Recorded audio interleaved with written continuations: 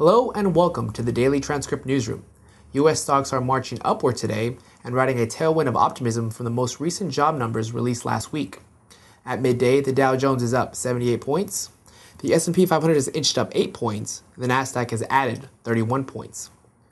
Oil prices are increasing as Germany's government is backing the European Central Bank's bond buying plan, which is easing concern that the region's debt crisis will worsen.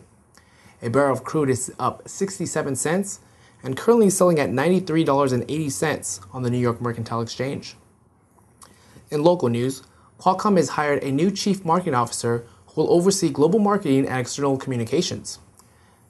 And San Diego based Adventrx Pharmaceuticals has reported a net loss of $4.2 million for the second quarter of 2012. This is $2.2 million less than the same time a year ago. For complete coverage of these stories and more, please check back here throughout the day. I'm Carlos Rico. Thanks for stopping by.